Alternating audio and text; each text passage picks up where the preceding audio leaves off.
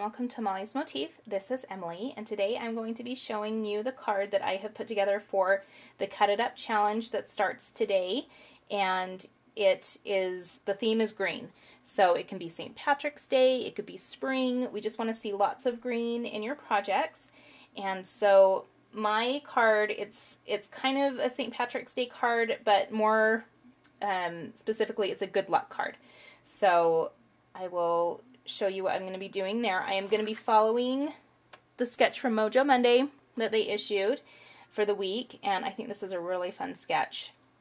So I'll be doing that, and then I'm also going to be entering this card over at Pause Dream Enjoy. The challenge is just to follow any sketch, and so that this will work great for over there.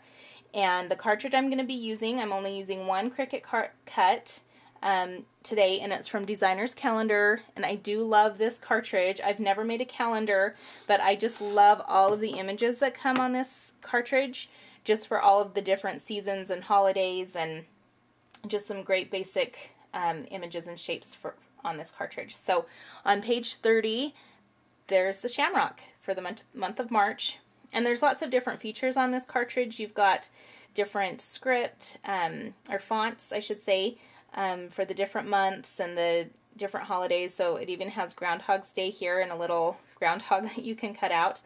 Um, fun kites for spring. But I'm yeah, definitely going to be using that shamrock. So here it is, and I cut it at one and a half inches.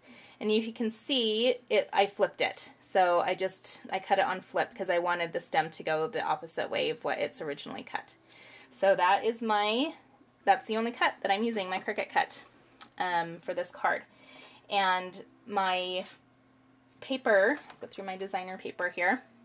Um, I picked this pack up at Hobby Lobby. It's from We Are Memory Keepers. It's called Anthology, and I just think this is a really fun paper pack. It's got a lot of, let's see if I can do this, antique looking papers, lots of distressed look to it, some great colors, and there were a lot of green tones in this paper pack, so that's why I chose this, but super fun paper pack that I picked up. And then my it's just going to be a standard A2. My base card is just kind of this olive green, and it does have some texture to it. I don't know if the camera can pick that up, but it does have some fun texture to it. And this is the same paper that I cut my little shamrock out of. So there is already some texture on my um, on my cut. I was going to see if I needed to emboss it, but I didn't need to because it does have some texture. So here's my card, and then I have just a kind of a taupe mat, just a beige mat, and I've gone ahead and embossed that with the quatrefoil embossing folder from the Paper Studio from Hobby Lobby. So this is a really fun embossing folder if you can see that.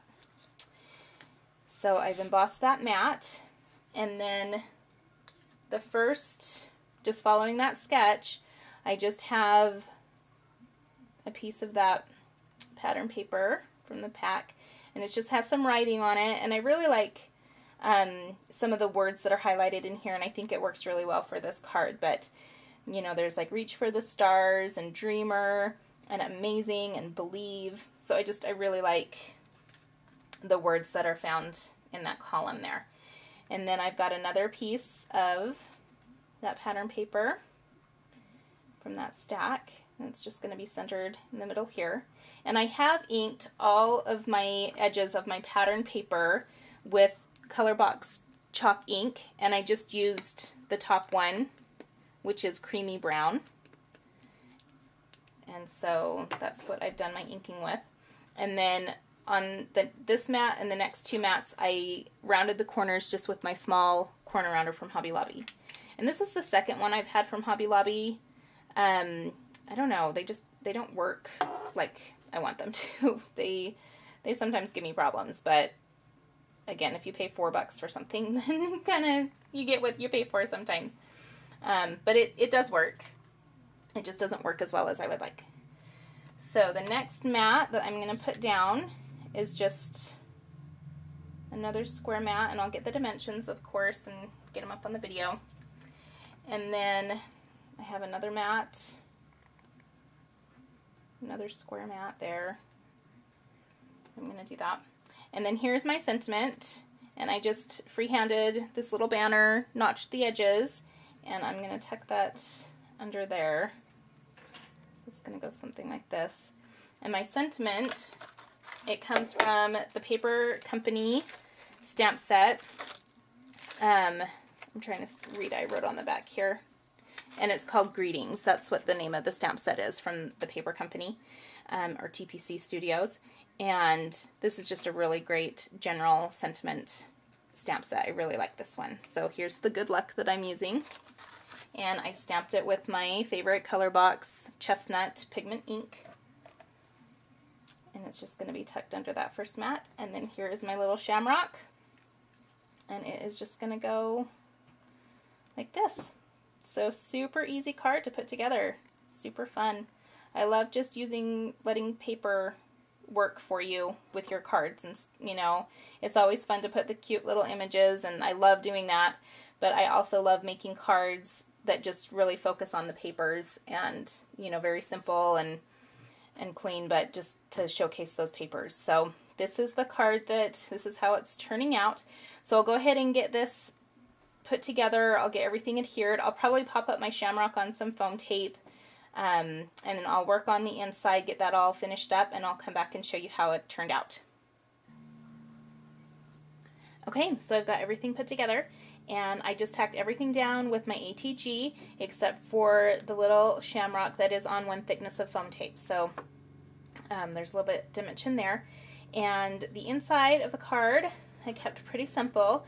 Um, I just took another piece of that polka dot pattern paper to make a mat and then just cut another piece of the the tan paper that I embossed on the front.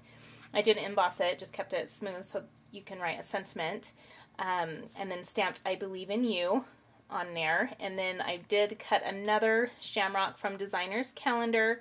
This time I just cut it on the regular cut, not on flip, because I wanted the stem to be this way this time.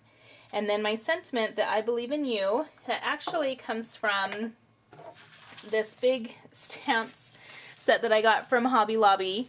Um, it just has a bunch of different words, um, just a lot of different general words that you can mix and match and put together to create your own sentiment. And it's got, I mean, just every general um, word that you can think of to put in sentences. And so um, basically what you do is just put it on your acrylic block and you just you know, you can space it however you want, put it as close together. You can arrange it however you want. Um, but yeah, they're just individual pieces. Like here's the eye. So some of them are pretty teeny to work with, but um, I do like the versatility that this stamp set gives you to be able to create whatever sentiment or phrase or sentence that you want. Um, and so I just put I believe in you together. I think that's a good little sentiment for a good luck card. Um, but yeah, just a really simple inside and think it just looks really good with the front. So this is the card that, my completed card that I am showing for the challenge that's starting over at Cut It Up. And I'll be linking it up to a, a few other challenges as well. But I hope that you are able to join us for that challenge that starts today. It runs for a week and a half, and um, we've got some awesome sponsors over there. So head on over there and take a look at what's up for grabs um, if you link your projects up. And I appreciate you taking the time to watch my video. I'd appreciate any comments or feedback that you'd have for me. You can always check out my blog. It's mollymugsblog.blogspot.com. And we will catch you next time.